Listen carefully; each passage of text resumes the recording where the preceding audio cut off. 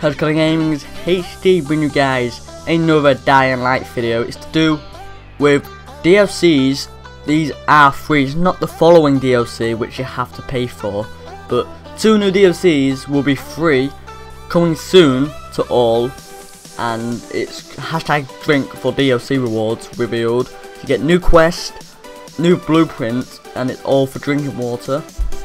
So, you stayed hydrated and won two free DLCs for everyone. So, a Fountain of Youth, new quest, sprinkling drinking water back to the quarantine zone. Water balloons, new blueprint, which it sounds awesome, a water balloon.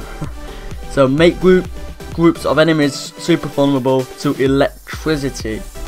So, yeah, so two free DLCs which will be available for everyone for free. You don't have to pay anything for this. Um, I don't know. We don't know yet which one's coming first. The following, which you have to pay for, or this free DLC. We don't know yet. Maybe at the same time. Maybe not. I don't know. We'll, we'll find out soon. Very soon.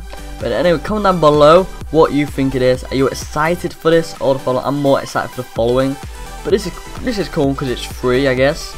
And yeah, subscribe if you haven't already, and smash the like button. And I'll see you guys in the next video.